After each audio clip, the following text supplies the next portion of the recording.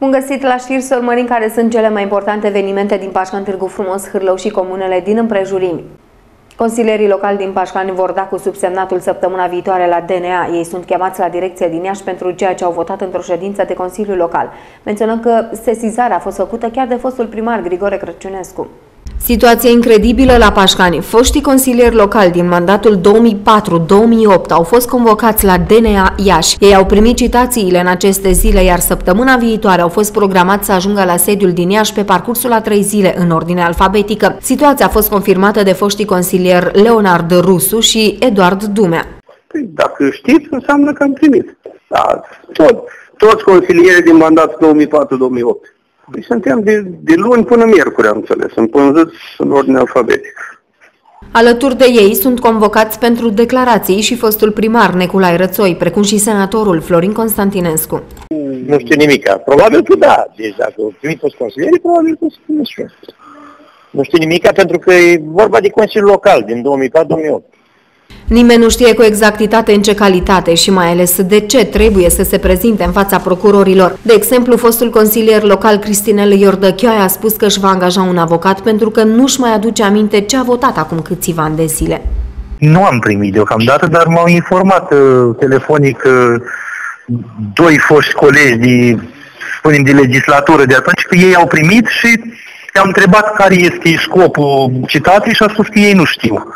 Totuși, toți bănuiesc că ar fi vorba despre hotărârea 147 a Consiliului Local Pașcani, în urma căreia Societatea Agrocomplexe SA Pașcani, deținută de primarul Dumitru Pantazi, a beneficiat de scutirea de la plata unor majorări de întârziere pentru anii 2002, 2003, 2005 și 2007 la bugetul local. Hotărârea a fost votată pe data de 19 septembrie 2007 de 15 consilieri. Constantin Simion, președinte de ședință, Florin Constantinescu, Neculai Apostol, Eduard Dumea, Vasile Pleșca, Constantin Constantin Cojocaru, Daniel Sârbu, Dorina Sofian și Viorel Toma, toți de la PSD, precum și Ioan Ioniță, Georgeta Sandu de la PDL și Nina Agachi și Liliana Centea de la PNL. A votat împotrivă fostul consilier Leonard Rustu și s-au abținut consilierii PRM Corneliu Doroagă, Budăi Cristina și Laura Tabarcea. Proiect de hotărâre privind scutirea de plată pentru sumele datorate de SC Agrocomplex Lunga Pașa pentru anii afectați de calamități naturale, prelungirea contractului de închiriere și corelarea acestuia cu legislația amplifare.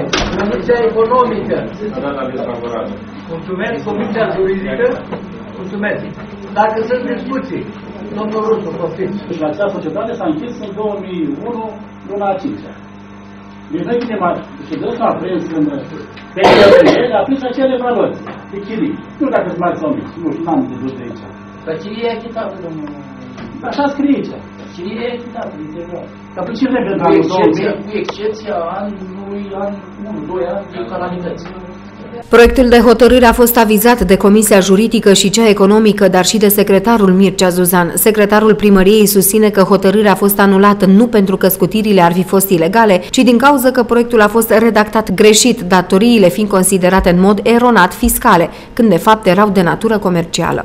Nu, o constatat instanța că nu, nu îndeplinește condiții legale și o anulat-o. Dar de ce o anulat-o? Pentru că în loc să mergem pe codul civil, așa când te las să te conducă finanțiștii. Deci în loc să mergem pe codul civil, că dacă e un contract între părți, prin înțelegere, poți elimina anumite pretenții, da? Sau poți cădea din ele, nu? Corect. Și noi am mers pe procedura finală, considerând că este o impozit și o taxă locală, ca și-au făcut rapoarte. Procedura fiscală. Da. Da, și lucruri diferite. Asta e totul. Menționăm că sesizarea a fost făcută chiar de fostul primar Grigore Crăciunescu. Ea a fost anunțată în cadrul unei dezbateri electorale difuzate de BIT TV, moderată de Cătălin Cojocaru. Aici există hotărârea definitivă și revocabilă, care spune așa.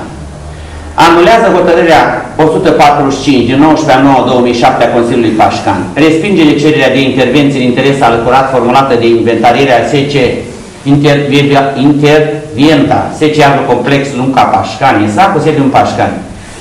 Strada Gării, numărul 40, cu drept de recurs în 15 zile.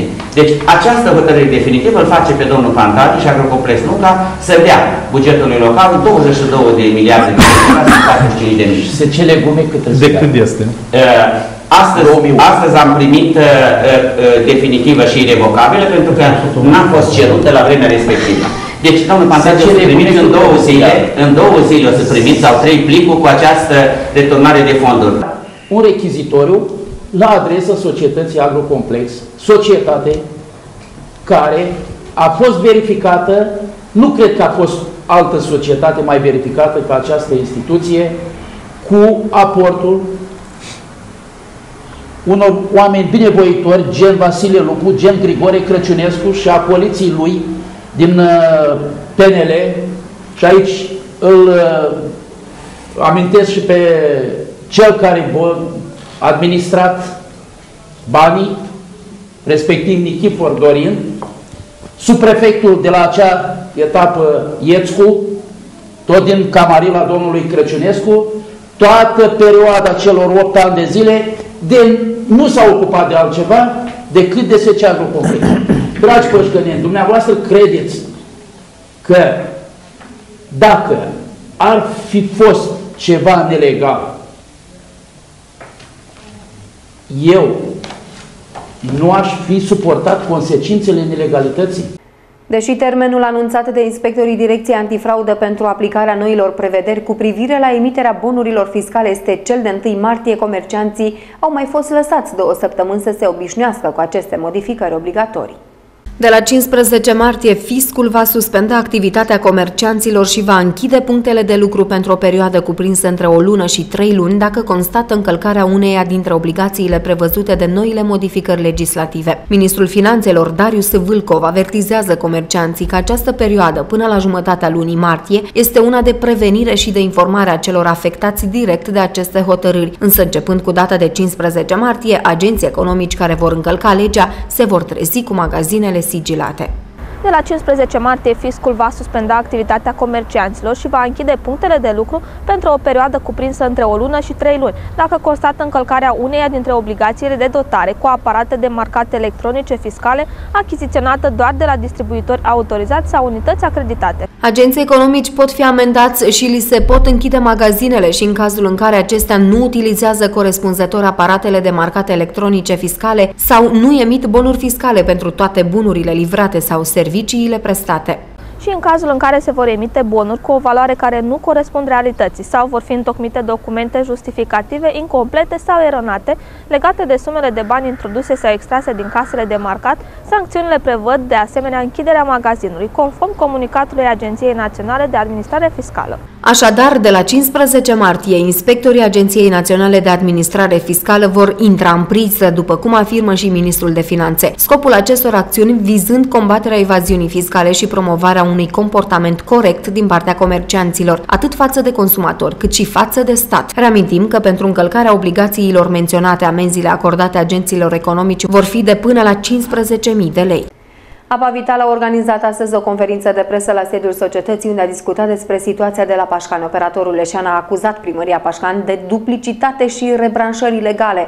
Totodată a precizat că se vor face plângeri penale împotriva celor care au ajutat la reluarea furnizării apei în blocurile unde a fost oprită.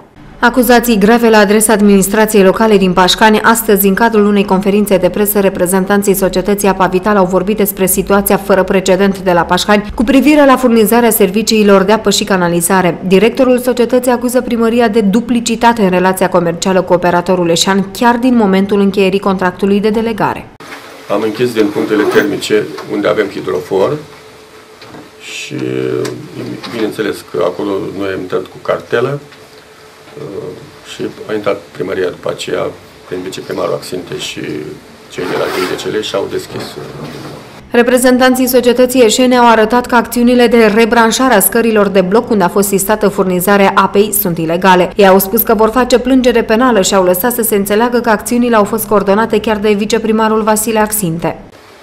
Închidem apa acolo unde nu avem contract. Primăria, prin administrația sa și poliția locală în prima fază nu ne-au permis să ne facem serviciu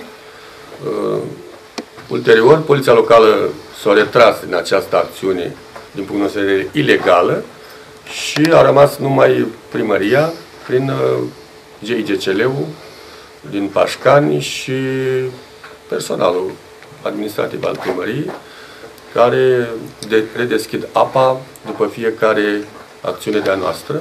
În același context, operatorul Leșan a subliniat încă o dată pierderile și efectele negative rezultate din hotărârile consilierilor locali de anulare a contractului de delegare a serviciului de apă. Totodată au fost prezentate jurnaliștilor o serie de adrese din partea reprezentanților guvernului, din care reiese că singura șansă pentru ca Pașcanul să aibă acces la investiții din fonduri europene este doar în cadrul Arsacis.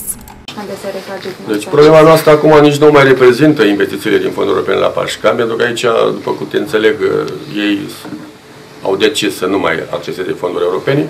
Problema noastră acum este cum ne vom recupera noi prejudiciul creat de către autoritatea locală din Pașcani. Avem suficiente dovezi pentru a ne îndrepta împotriva administrației să ne recuperăm banii, pentru că noi am livrat serviciu și el n-a fost plătit și am fost împiedicați, încălcând uh, obligațiile autorității locale de a ne ajuta să facem serviciu și să ne recuperăm uh, contract, uh, banii uh, acestui serviciu, aferința acestui serviciu. Menționăm că reprezentanții Apa Vital au spus că vor continua acțiunile de debranșare de la Pașcane, acolo unde locatarii au refuzat să încheie contracte de furnizare. De asemenea, ei au precizat că nu vor pleca din oraș până când Consiliul Local nu va delega serviciul unui alt operator, pe motiv că au încheiat contracte cu peste 60% din beneficiari și trebuie să le onoreze. La peste cei 35.000 de locuitori ai municipiului Pașcan sunt 104 taxiuri. Unii dintre cetățeni cred că sunt prea puține și au venit astăzi la audiențele săptămânale ținute de administrația locală pentru a solicita autorizații de funcționare. Răspunsul viceprimarului, cel care a vorbit astăzi cu pășcănenii, e că în ședința de la sfârșitul acestei luni va fi un proiect de hotărâre pe această problemă. În Pașcani sunt 104 autorizații de funcționare a taxiurilor. Pe lângă acestea mai sunt pășcăneni care vor să fie în regulă cu actele și astăzi au solicitat administrației locale autorizații de funcționare pentru taxi. La audiențele ținute astăzi de viceprimarul Vasile Axinte s-au prezentat două persoane care au solicitat autorizații pentru taxi. Uh, printr-o hotărâre de Consiliul Local dată în urmă cu câțiva ani uh, este fixat un număr de 104 taximetri la nivelul municipiului Pașcani. Astfel uh, și la audiențele din urmă cu o săptămână și cu două săptămâni vin persoane care solicită astfel de autorizații.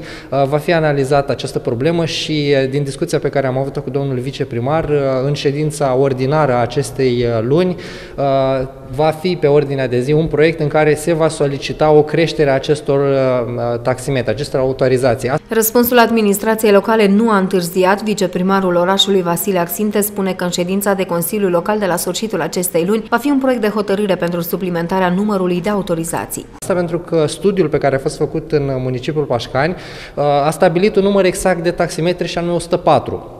Ei bine, uh, raportat la populația din 2002 a municipiului Pașcan, lucru care nu mai bate cu realitatea în momentul de față. Astfel, uh, repet, în ședința din luna martie va fi un proiect pentru a suplimenta aceste autorizații. O autorizație de funcționare a unei mașini în regim de taxi este valabilă 12 luni.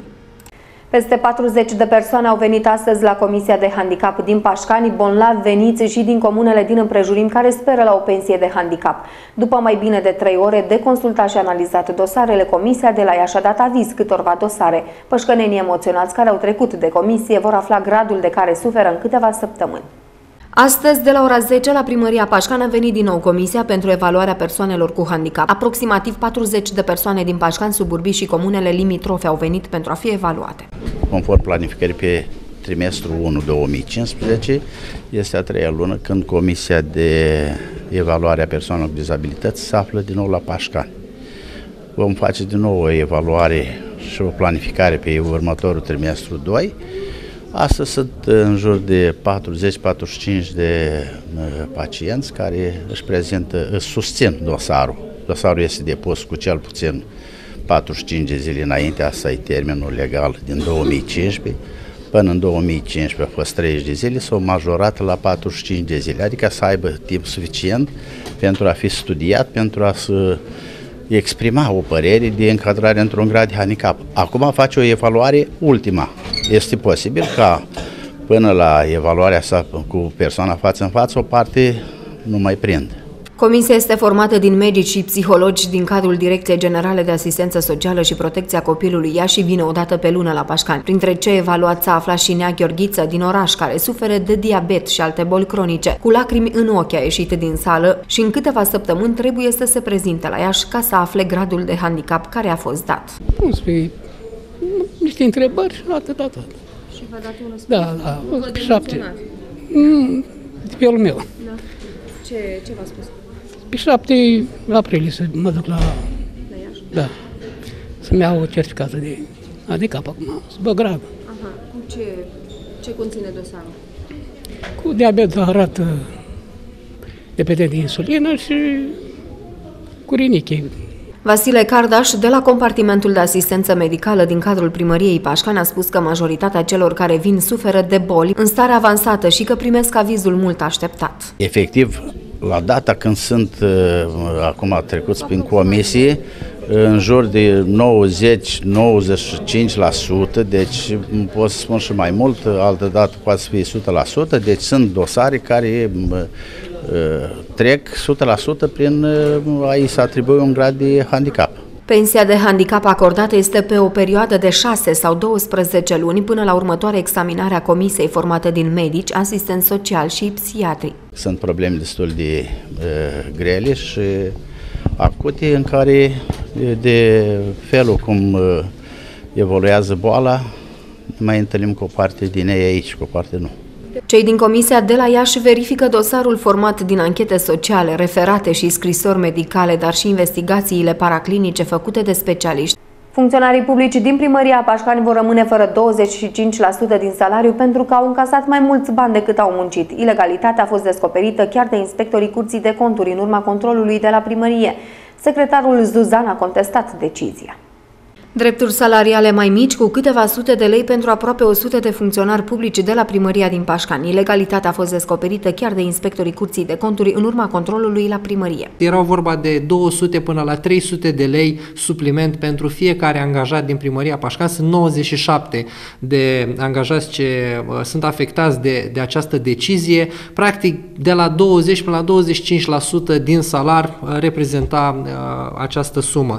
Uh, ei bine, Funcționarii din primărie au contestat uh, această decizie și am înțeles că și secretarul va face un raport în acest sens uh, pentru a încerca și a uh, delimita lucrurile cât mai clar și cât mai bine din punct de vedere legal. Este vorba despre un spor de 7% adăugat la salariu de câțiva ani de zile. Curtea de conturi susține că banii au fost încasați în mod necuvenit și că trebuie recuperați.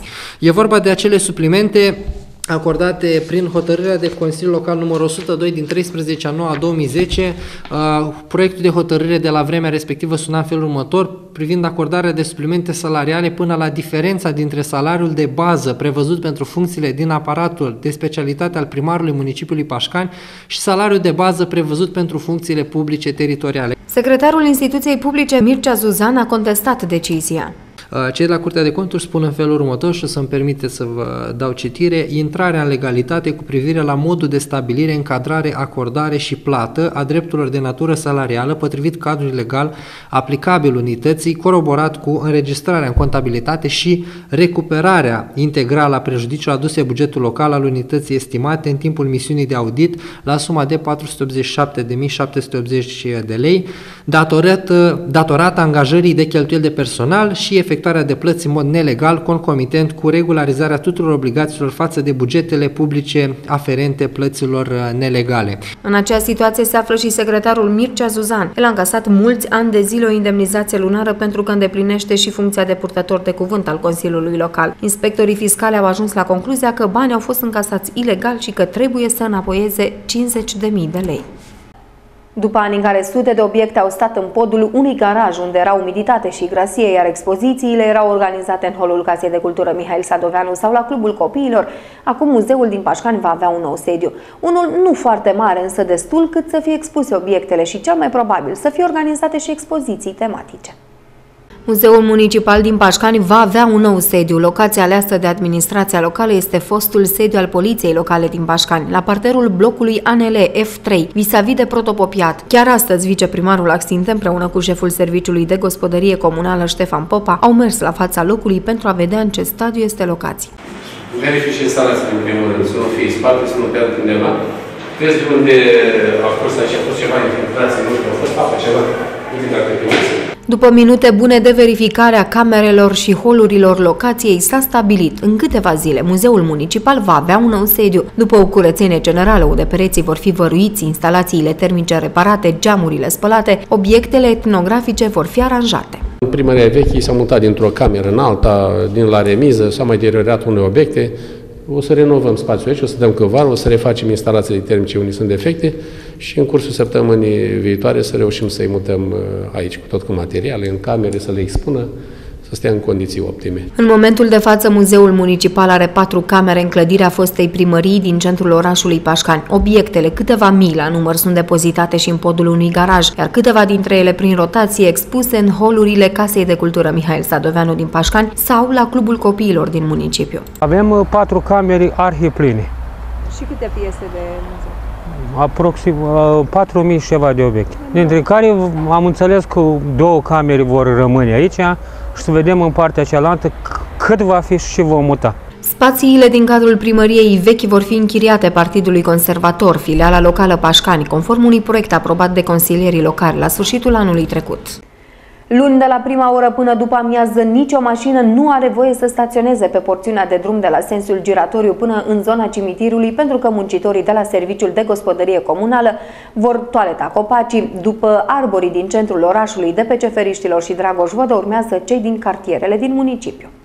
Pășcănenii care locuiesc pe strada Grădiniței din Pașcan trebuie să știe că luni 9 martie în intervalul orar 7.30-15 se vor executa lucrări de toaletare a copacilor. Lucrările vor fi făcute de muncitorii de la Serviciul Gospodărie Comunală. Măsura este luată pentru a preveni accidentele, dar și pentru a asigura spațiu pentru utilajele ce vor participa la această operațiune. Nota care este în parbris spune clar, vă aducem la cunoștință că ziua de luni 9 martie se vor executa lucrări de toaletare a pomilor de pe strada Grădiniței grădinici în intervalul orar 7.30-15. Cu acest prilej se interzice staționarea autovehiculelor pe acest tronson de stradă. Vor fi toaletați copacii care au crescut în zona stâlpilor de iluminat sau pun problema mașinilor de mare tonaj. Suntem în jurul la lămpile de la iluminat, sunt creji uscate, alea care spun afară, și pericol când trec mașinile alea mari, asta, asta toale. Acțiunea se va muta în următoarele zile și în cartierele orașului, dar și acolo unde au fost solicitări de la populație.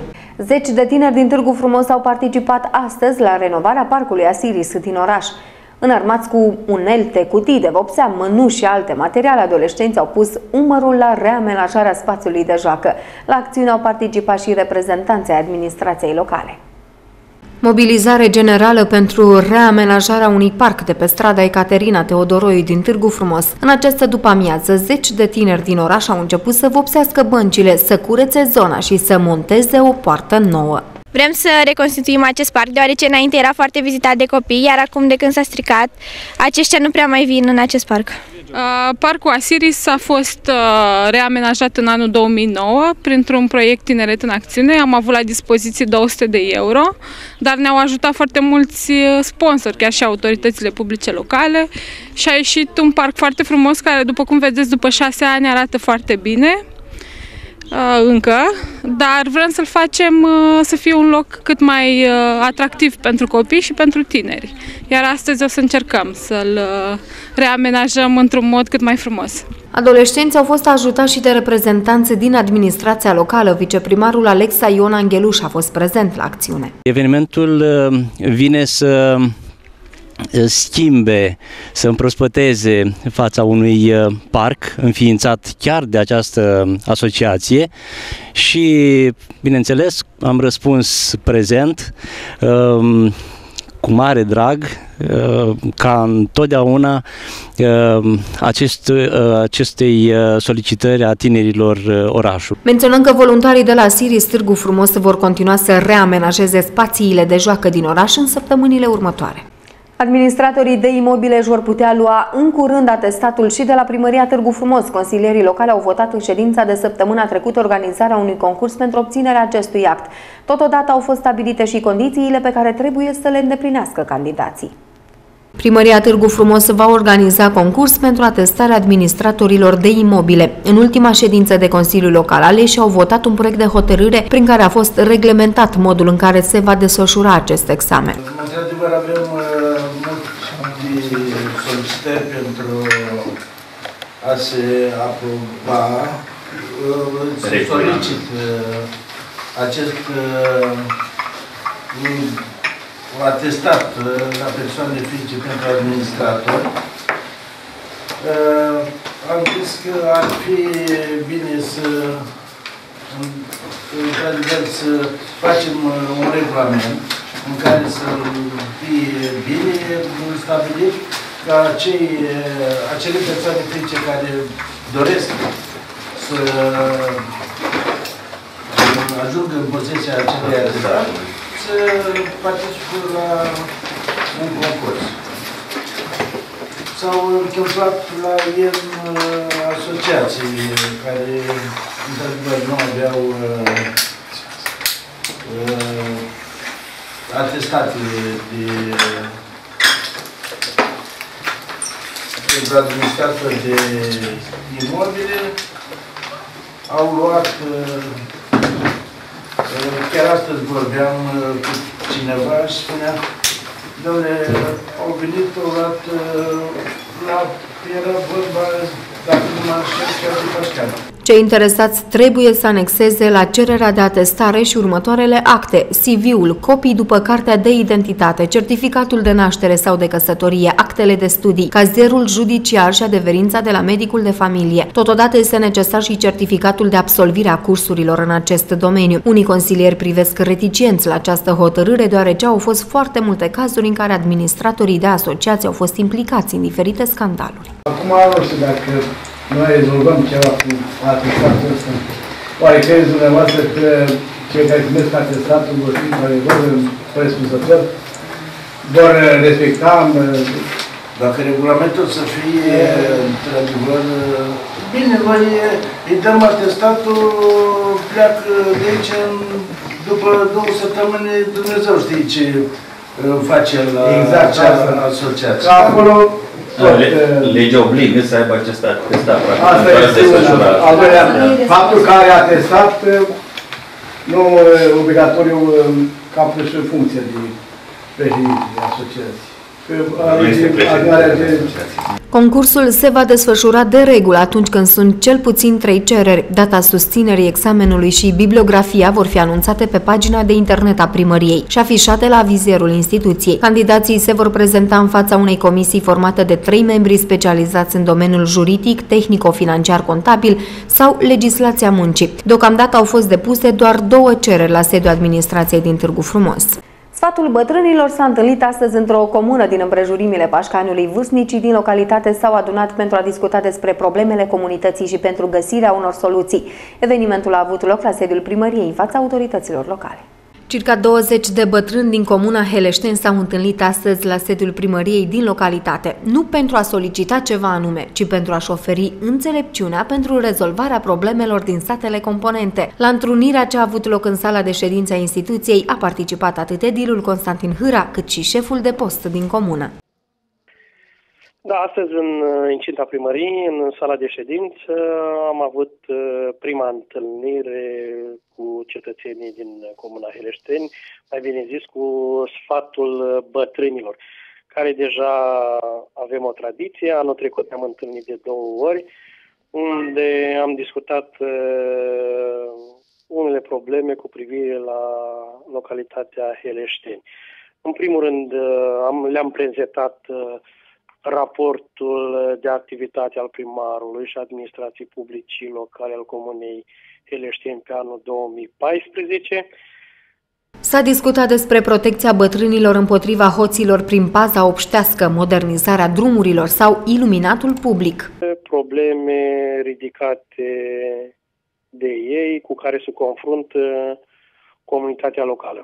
Uh, probleme ridicate de bătrâni, de sfatul bătrân, în special au fost cu privire la siguranța lor, uh, privind paza, uh, probleme care le le fac uh, cetățenii mai tineri certați cu legea, uh, cu toate că la această ședință a participat și șeful de post, în care s-au ridicat uh, probleme atât la furturile din gospodării, tâlhăriile. Menționăm că este o tradiție în comună ca de două ori pe an vârstnicii din sate să se întâlnească pentru a discuta despre problemele cu care se confruntă. Își încearcă norocul doi pășcăneni la semifinala campionatului național de șah senior de la Iași. Acum evenimentul este în plină desfășurare și participă 134 de șahiști din toată țara. Pe parcursul a șase zile, în perioada 2-8 martie, la Iași se desfășoară semifinala campionatului național de șah seniori. S-au calificat 134 de șahiști din toată țara și concurează pentru a intra în marea finală. Numărul de locuri e limitat, de 20. În perioada 2 martie-8 martie, la Iași se desfășoară semifinala campionatului național individual de seniori, care a reunit, care reunește uh, 134 de competitori, miza fiind uh, ocuparea primelor 20 de locuri, care le asigură participarea la finala campionatului național de șah senior din 2015. Din Pașcan participă doi șahiști. Este vorba despre Pâslariu Ștefănel Vasilică și Turcu Vasile, legitimați la Clubul Sportiv Municipal. După primele trei zile de competiție, Pâslariu Ștefănel Vasilică este cel mai bine clasat sportiv, ocupând momentan locul 44. Clubul Sportiv Municipal Pașcan este reprezentat de către doi sportivi, Pâslariu Ștefănel Vasilică și Turcu Vasile, și ce vă pot spune astăzi este că după trei zile de concurs, Pâslăriu Ștefanel Vasilică ocupă locul 44 cu două puncte jumătate din patru. Arbitrajul este asigurat de Nistor Slabu și Dinu Ioana Nicula. Stimați telespectatori, acestea au fost știrile. Rămâneți pe TV Bit pentru a urmări emisiunea noastră. Noi ne revedem mâine seară de la aceeași oră. Nu uitați că puteți comenta și dezbate cele mai importante evenimente din Pașcan, Târgu Frumos, Hârlo și comunele din împrejurim pe bitv.info. Materialele video le găsiți pe canalul de YouTube cu același nume. Suntem și pe Facebook. Toate bune!